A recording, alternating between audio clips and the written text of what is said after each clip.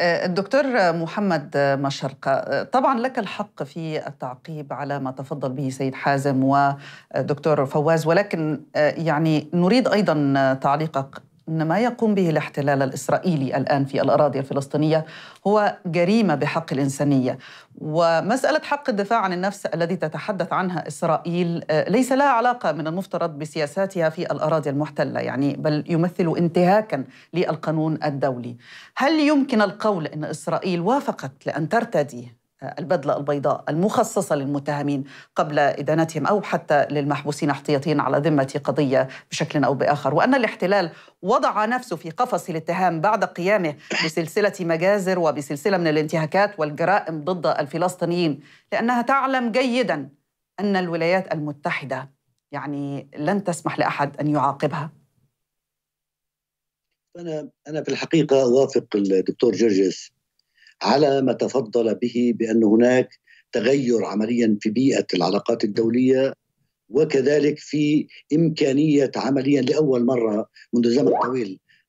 لاحظي أن حتى هذا الرأي الاستشاري الذي طلب من محكمة العدل الدولية بالمناسبة مقدم منذ سنوات وأعيد تجديده عام 2022 يعني 2022 مجرد أن تعطي محكمة العدل الدولية رايا استشاريا كانت هناك عديد من المعوقات.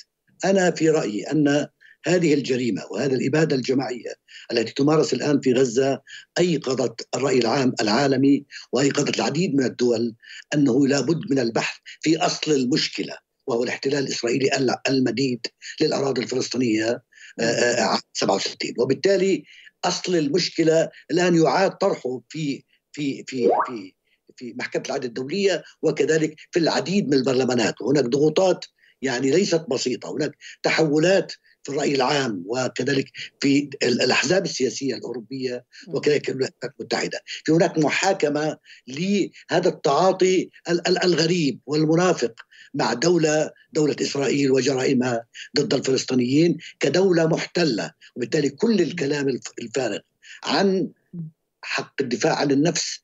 يعني بمعنى وأنت دولة محتلة.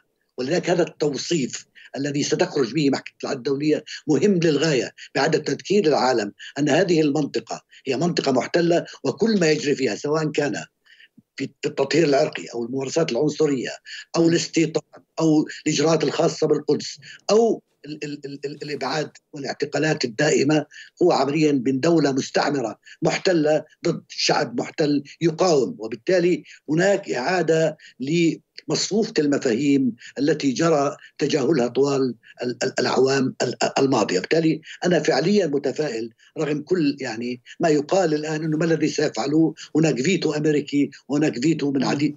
هناك مواقف دولية لا يمكن أن تساعد الفلسطينيين لكني أؤكد أن عجلة التغيير ورياح التغيير في العالم عمليا بدأت. طيب دكتور بدأت دكتور محمد هناك من يقارن بعض القضايا بهذه القضية الآن المعروضة على محكمة العدل الدولية؟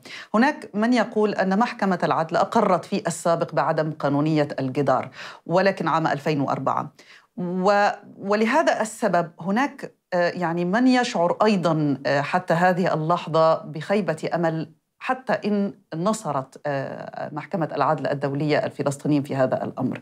هل يمكن أن نشهد تغييرات بسبب هذه التغييرات التي تحدثت عنها في المواقف أيضا المتفاعلة مع ما يحدث في قطاع غزة الآن؟ يعني بكل صراحة في جانب سلبي في الوضع الفلسطيني كله هو غياب القيادة الفلسطينية، غياب المايسترو الفلسطيني الذي يمكن أن أن يتحرك منذ سنوات، يعني هناك من صدق بأنه سنصل إلى دولة ونتائج أوسلو التي تحدثنا عنها لسنوات طويلة. بمعنى الآن يرى الفلسطيني أن لا حول له ولا قوة سوى أن يمارس كل أشكال النضال لإزعاج هذا المحتل وإجبار العالم على الانتباه إلى قضية طويلة لمستعمرين ويتغولوا ويتطرفوا أكثر. والآن يمكن أن يشاهد العالم أن الذين كانوا في هامش الحياة السياسية الإسرائيلية من اليمين الصهيوني المتطرف والفاشي أيضا تحول إلى سياسة رسمية.